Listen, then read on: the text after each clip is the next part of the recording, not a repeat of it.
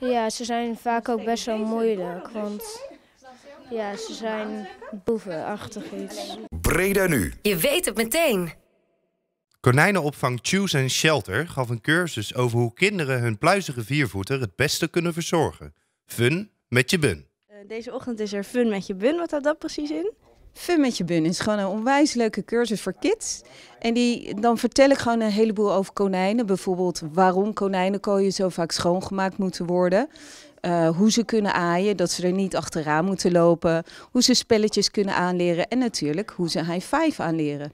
Jongens, dit zijn Harvey en Dana. Dat is Harvey, de blauwe. En de beige is Dana. En dat zijn onze konijnen. En die gaan jullie een hoop dingen laten zien. Kom maar. En dus heb je thuis ook konijnen? Ja. En hoe heet ze die? Bente en Jari. En heb je die al lang? Nou, ik heb ze nog maar net. Ik weet niet hoe lang, maar ik heb ze nog maar net. En wat wil je hier nou graag leren?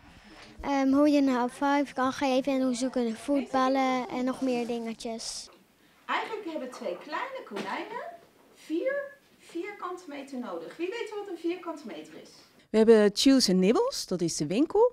Choose and Shelter, dat is de opvang. Dus als er mensen zijn die konijnen hebben waar ze niet meer voor kunnen zorgen, dan kunnen ze naar Choo- Choose and Shelter komen. Natuurlijk ook als mensen een konijn zoeken en gewoon een leuk konijn willen hebben voor hun huis. Ik heb konijnen en ik wil ehm, ja, ook iets goeds voor hen. En het is gewoon leuk om ze ook goed te trainen.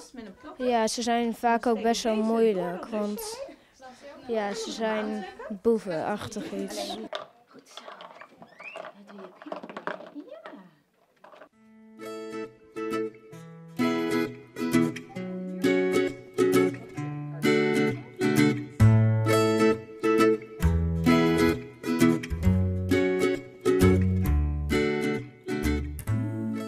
En als je nou terugkomt van de cursus, wat ga je dan doen vanmiddag? Kettingen op het huisje hangen.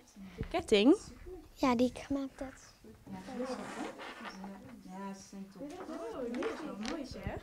Die is mooi.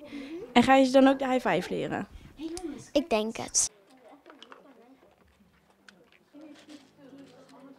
Ja, heel goed. Hou je hem dus nooit even vast. Helemaal top hoor.